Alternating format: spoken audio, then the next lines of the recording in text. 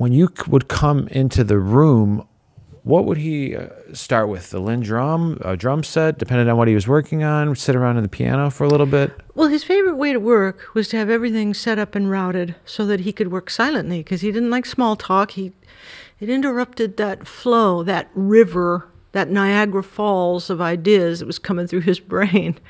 It interrupted that flow if he had to have conversations. So if he could start a session with everything set up and routed, just headed to tape, happy, happy, happy. Um, sometimes you'd get a phone call saying, here's what he wants set up. Sometimes you'd come to the studio and there'd be a note waiting on the console saying, here's what he wants set up. If it was sunset, he would tell the front desk, tell the engineers, I want this set up.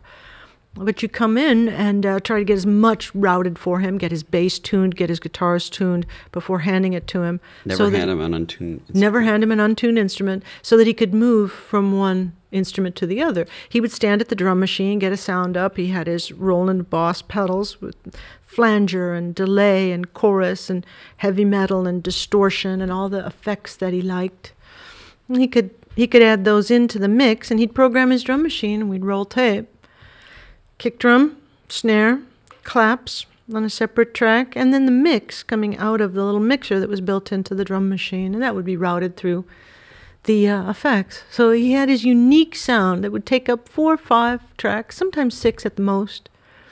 And then he'd lay down the bass and the chord changes with a keyboard pad or something like that, and basic basic parts. But I've uh, I've said that he had a watchmaker's knack for understanding how to complete an arrangement with the limitation of 24 tracks. So when you have fewer ingredients, just like a master chef, each ingredient has to carry more weight, which means each ingredient has to be more pure. Its its flavor has to be un it has to be independent from the other flavors. If you're if you're a top chef, and he was a top arranger, and he once said, evidence of this is that he once said to me, in theory, any instrument in the mix should be capable of being the loudest thing in the mix. Ah. Nothing should ever be in the background. Now, that applied to his arrangement style. After I left Prince, I had to unlearn Prince because if you tried to take his arrangement approach to a mix with a different kind of artist, it wouldn't work. Other people constructed something that was more like a pyramid. His was more like a sphere. You could move your spotlight of attention pretty much anywhere on most Prince records, focus on any instrument you want, and get a treat. Yeah. No instrument was dependent necessarily on others. That's a unique way of arranging. Not everyone arranges like that. But he, he, he had that musical mind that was almost, almost like a kaleidoscope where you could rotate your perspective on this record and it would work. You mentioned the groove being the most important thing. Another thing he taught me was if a mix is working, you should be able to mute all the vocals and the whole top line, melody and, and hooks and things like that, and it should work with just the rhythm section. Your sounds and your performances should be strong enough that you could do a breakdown on the dance floor, and no one wants to stop dancing. That record doesn't lose pressure, Yeah. Wow. and and that th- that was hard to achieve with other artists, but for him, that's how he thought musically. So he built his records that way.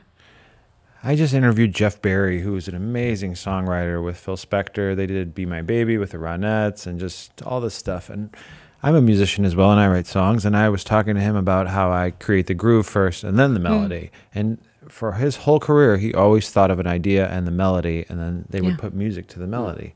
But Prince would get the groove going and then come up with Not the, always, no. No, uh, not on always. his on his ballads, on on ballads and and uh, well, things like Computer Blue or I think the song Pop Life, written on piano first, where Yeah. he'd have melody and he'd he'd write out his lyrics, and then he'd come into the studio with lyrics already written, and he knew the melody, he knew the chord changes, he knew the sections, and then he would do the drum track and and build it up from there.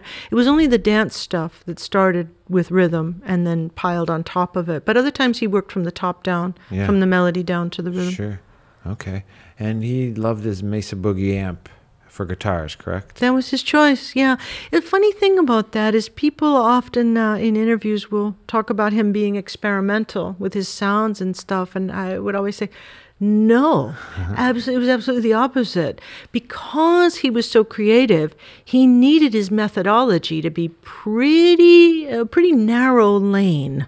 Because if he had been, if his creativity had drifted outside of those lanes to finding new guitars and new guitar sounds and all new keyboards and all new drum machines, it would have taken, it would have tapped resources that were being devoted to songwriting.